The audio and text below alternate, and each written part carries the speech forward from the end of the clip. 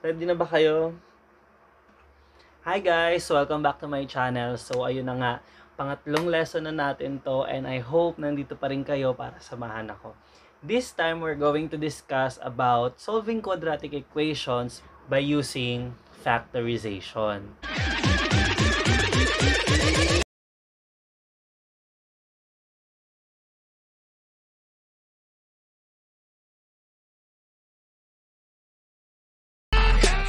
I hope marami na kayong natutunan so far and this time I'm going to give you another math tutorials for grade 9 mathematics.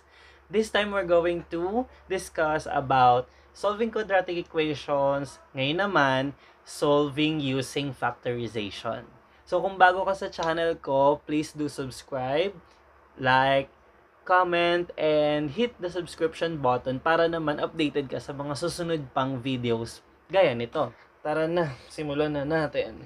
Ayun na nga, for this method of solving quadratic equation, we have to consider two forms or two variations ng quadratic equation in which this method is applicable. First is ax squared plus bx equals 0. So kung mapapansin nyo, nawawala yung c. Pwedeng-pwedeng gamitin sa kanya ang uh, factoring if ganito po yung form na makikita ninyo. Secondly, yung ax squared plus bx plus c equals 0, which is the complete form nung general quadratic equation natin. So, focus muna tayo sa first form, which is yung ax squared plus bx equals 0. In arithmetic, we have learned that the product of any number and 0 is always equal to 0. For example, 2 times 0 is equal to 0. 0 times 8 is 0. Negative 6 times 0 is 0. And 0 times negative 7 is 0. That is the Zero. property for multiplication, which is any number multiplied to 0 is 0. Sabi natin kanina, applicable siya sa mga forms of equation na magpa-pattern sa ax squared plus bx equals 0. Now, let's say for instance, we have um, x squared minus 4x equals 0. How are we going to solve this using factoring? First and foremost, we have to get the common monomial factor for each of the following term. We have to consider x squared and yung negative 4x. What common factor is present among these terms? 'Di ba yung x? So we have to bring out x and ano yung natira? So we factor out x, may matitirang x minus 4, correct?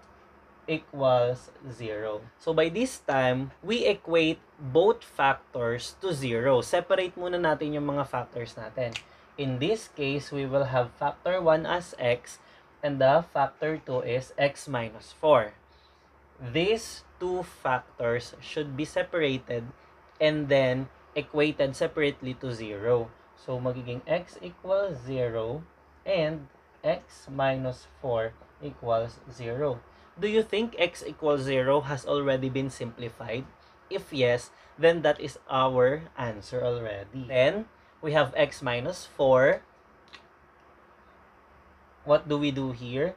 We add the negative inverse of negative 4, which is positive 4. Then, equate this to 0 plus 4. Adding both sides, yung ating additive inverse. Then, we cancel this out because that will be 0. Then, x is equal to positive 4. Then, this will become our second solution. So, the value of x are 0 and 4. No? Kung babalikan natin yung zero property, kaya nawala si c dahil siya ay 0. At kapag pinag-multiply mo ang 0 and 4, 0 talaga yung magiging constant natin. That's why. So I will be showing to you guys some more examples under ax squared plus bx equals 0, then their solutions. Okay? Moving forward to the next is the second condition na applicable yung factoring natin when we have ax squared plus bx plus c equals 0 form of the general quadratic equation. Ngayon, kapag lahat naman ng terms ay present, what we are going to do here is to think of the factors of the last term, our constant c. Let's say we have to think of factor 1 and factor 2 that when we multiply them, then the resulting number should be equal to the last term. And upon considering these two numbers, if we add them up, x sub 1 plus x sub 2 naman, on the other way, it should be equal to b. So, dapat dalawang numbers na pag pinag-multiply equal sa last term, tapos yung dalawang number na yon pag pinag-add mo naman siya, equal siya dun sa middle term. Let's take a look on this example. We have x squared plus 5x plus 6 equals 0. Now, what we're going to do is to list down the factors of the last term, which is 6. What are the factors of 6?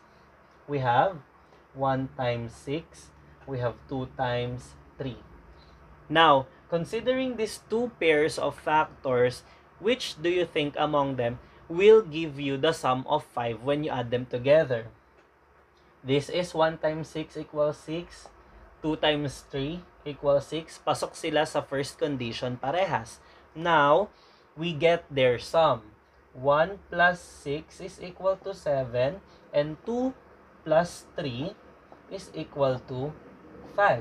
Which do you think between these two will result to the same value as our middle term? This one. Then therefore, we could factor this out as the factor of 6, we have 2 and 3. Then we have to get again the factors of the first term x squared. So we have x and x. Then, copy the sign of the factors we used here. So parehas siyang plus, so plus, plus. Now, after getting the factor, we proceed to equating the factors to zero for us to extract the solution. So it will become x plus 2 equals 0 and x plus 3 equals 0. Next step is to add the additive inverse of 2, which is negative 2, to both sides of the equation, then solve x is equal to negative 2. Likewise, we have here x plus 3. We add the negative inverse of positive 3, which is minus 3. We have 0 minus 3. Then, cancel this out. Then we should have a final answer of x is equal to negative 3. There you have it. We have our two solutions here. For other examples, kindly try to study the following slides that I will be presenting. And for your practice, I want you to answer the following items. So ayan, nag-enjoy ba kayo? Natutunan nyo ba? At may question ba? You can comment down below for clarification, and additional information. So that's all for today. See ya next time. Please do subscribe, comment, follow, and share para maraming matuto like you. Bye!